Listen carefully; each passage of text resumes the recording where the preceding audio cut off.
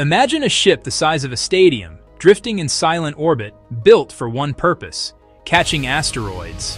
They call it a space whale, part harvester, part refinery, all machine. It carries a magnetic net engineered to embrace metal-rich rock.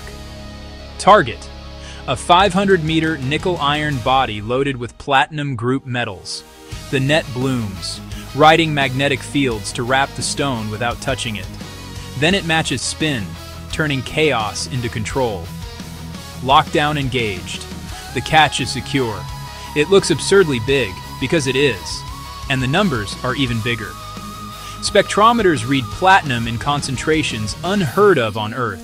No digging crews, just precision robotics in vacuum. Alignment brings the resource within reach. From capture to processing in one continuous loop. Time to melt a mountain. Induction furnaces hum, using the vacuum as the perfect kiln. Impurities separate cleanly. No atmosphere, no oxidation.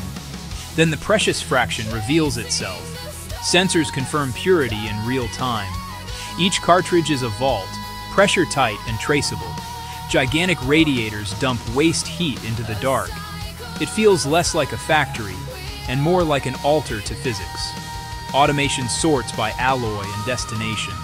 Platinum so pure it behaves like liquid glass, stamped in space, born above the atmosphere.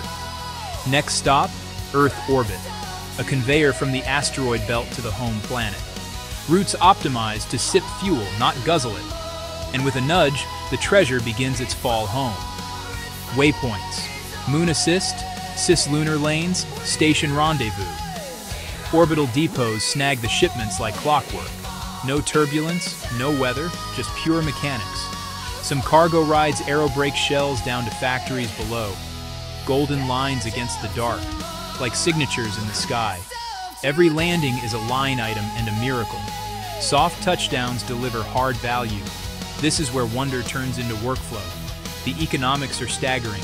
Catalysts, batteries, sensors, everything scales. Abundance tames volatility, unlocks new tech. Thin films coat devices atom by atom. Parts move faster than the old supply chains ever could, and the harvest doesn't stop. Back on Earth, the future gets tangible. Stamped with a new origin story. Orbit to driveway,